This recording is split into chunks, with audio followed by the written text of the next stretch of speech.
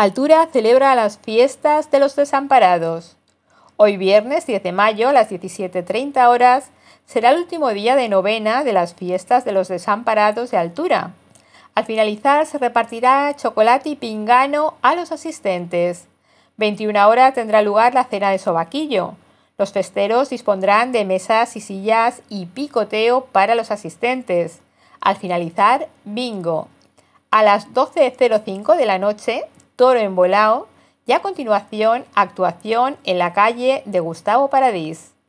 El sábado 11 de mayo a las 13 horas volteo de campanas en honor a la Virgen de los Desamparados.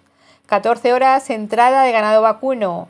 A las 17.30 exhibición de ganado vacuno y toro de la merienda. Al finalizar, salida. 23 horas toro volao y al finalizar se repartirá el chocolate, pingano y mistela. 12 y media de la noche, disco móvil en el Salón Sociocultural. El domingo 12 de mayo a las 11, misa en honor a la Virgen de los Desamparados y seguidamente procesión. 13 horas concurso de paellas. Se ofrecerá arroz y leña a los participantes y al finalizar bingo. Los festeros dispondrán de mesas y sillas para los asistentes. A las 19 horas, las grupas.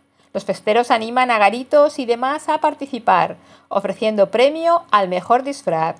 Lunes 13 de mayo a las 10, misa de difuntos y traslado de la Virgen Pequeña.